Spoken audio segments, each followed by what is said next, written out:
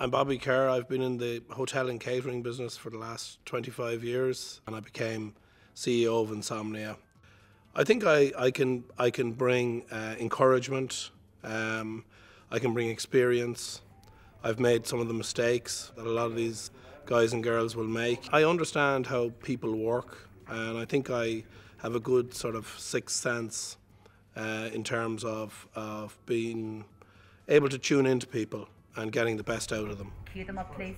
Now that we're into the third season of Dragon's Den, I'm very excited about it. I love the whole recording process. I like the interaction with the other dragons, the banter, the meeting of new people, seeing new ideas. I'm looking for good people.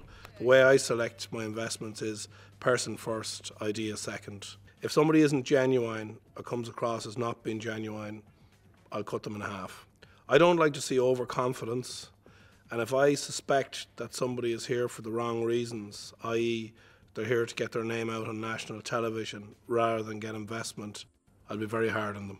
I would encourage anybody who's coming in to make a pitch, even if you're nervous, believe in yourself, believe in your idea, and be honest with yourself. And I think the rest will sort itself out. If you try and play games, you try and be too smart, you'll get caught out.